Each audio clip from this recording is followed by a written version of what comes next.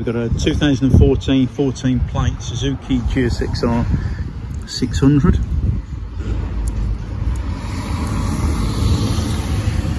It's done 9,997 miles.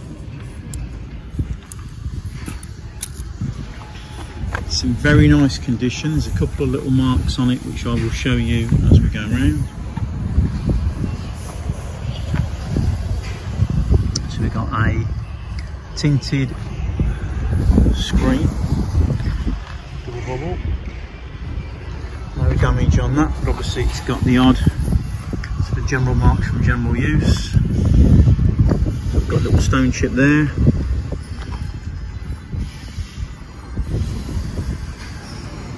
Again, just some general stone chips in a few places. No big cracks, no big heavy scratching at all on the front. A little chip there on that plastic. Again, a couple of stone chips.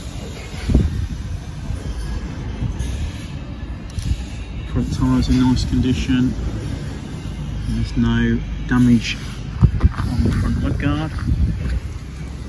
Wheels are in generally good condition. Got a couple of marks in a few places again from general use, not damage. Headers look tidy. Obviously we've cleaned it as best we can. We don't take the headers off to clean the bike or anything like that. Radiator, signs of use, but no damage, no big repairs on it. Forks are in nice condition. The bottom of the forks are actually very nice condition. Not much in terms of stone chipping. Got the standard lines on it brake disc is good obviously you can see it's been used but they are not terribly worn they're not all scabby and all the hubs look good. No marks on the mirror. That mirror moves a little bit.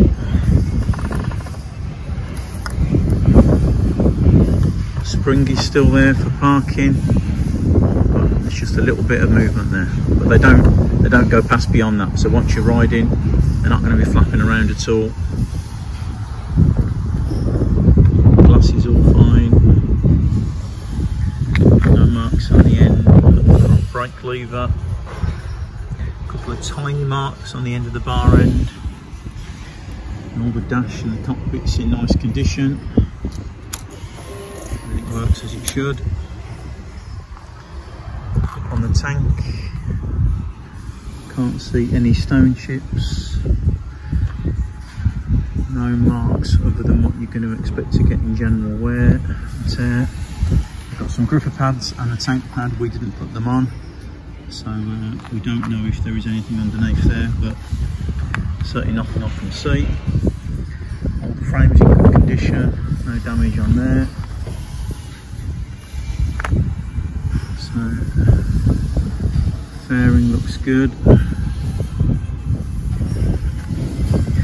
so this is the first damage I can see so here there is a couple of scratches there it's also completely secure there's a few scratches there and there's a few scratches on this engine case. Can't see any scratches on the white plastic.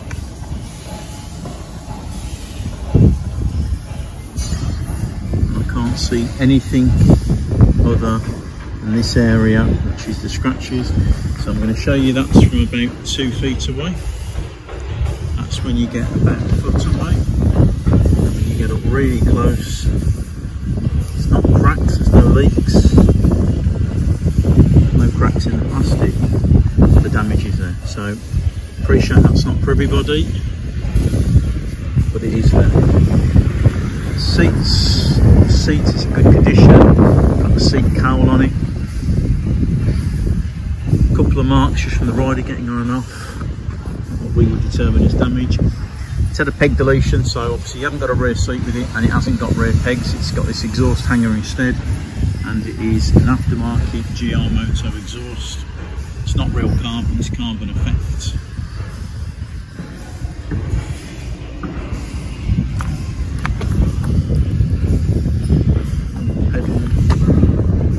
Rear brake that looks good, big looks fine.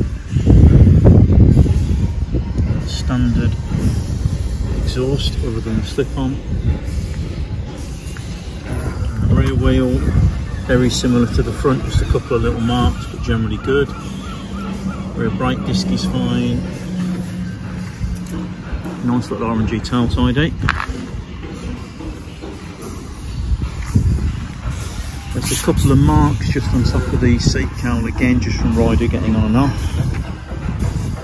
And then we've got no marks on this side of the tank either.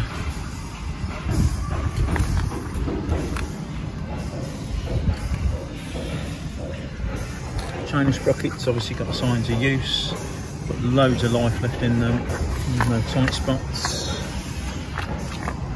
No damage on the engine cases this side. Can't see any damage at all to the plastics. A couple of very very very light marks there. Light scratch to the bar end. Nothing to the clutch lever so it's just there so again that's about two feet away. That's about a foot away. And if we get super close up just see what I mean there. All the white bit and the little strand of it is actually sticker. So just there. There's a mark there. That to me looks like it is either data tag material or at some point somebody's put some heated grips on and it's a little bit of glue. So again it's just there. And again that's about two feet away. That's about a foot away. That's when you get super super close. But we don't go scraping stuff like that off just in case it causes a problem that otherwise isn't there. Um, show you on this panel. Just some very very light marks just on just on there can see. But like it's really hard to see to be fair to be in the right light. So you can just see a couple of marks there. And they're not they're not heavy scratches it's just like a little bit of rubs on the paint really more than anything. It's really hard to see at all. Showed you that scratch earlier. Again little bit of play in the mirrors but they're perfectly secure. No marks on the end and again the front forks very similar to the other side so overall really nice bike very nice condition it's not concours, there are a couple of scratches, but overall, really, really nice tidy bike. It's in our showroom now, it's Sittingbourne, Kent. We're open from 9am to 5pm Tuesday to Saturday. And if you've got any questions at all, please give us a call. Okay, I've you had something pointed out to me. So just on this mirror here, just underneath, there is a little crack just there. It does go through, okay, but it doesn't go right up to the mounting point.